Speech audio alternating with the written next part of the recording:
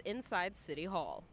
And in other news, in 2003, city voters overwhelmingly rejected a proposal that would have eliminated political primaries. But the national frustration with both political parties may be giving supporters of the failed effort new hope in the five boroughs. Our Grace Rauh has that story.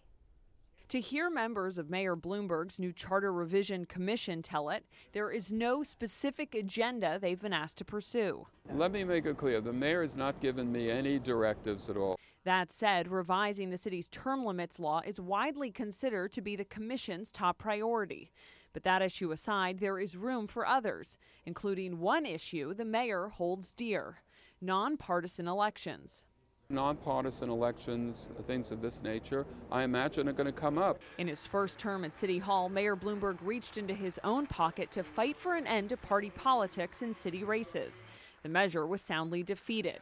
He indicated Thursday, though, that he might be willing to give it another go. I thought it was a ways to improve the democratic process in New York City. I spent a lot of money. I didn't get much support.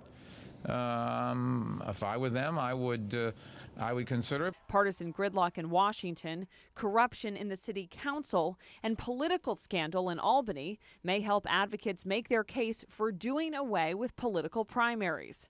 Harry Kresky, a lawyer for the New York City Independence Party, says he sees a new opening. So I think what's happening nationally is critical. Uh, the American people are fed up with partisanship. Partisanship certainly infects politics in New York City and, and, New York State. We've seen some of the really detrimental effects of it. And the mayor's newest political aide, Howard Wolfson, could play an unexpected role in this fight. Wolfson worked for the state Democratic Party and fought the mayor's nonpartisan push back in 2003.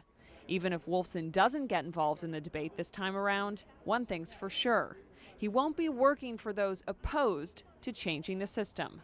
In Manhattan, Grace Rauh, inside City Hall. All right, thank you, Grace. It's time for us to take a break, but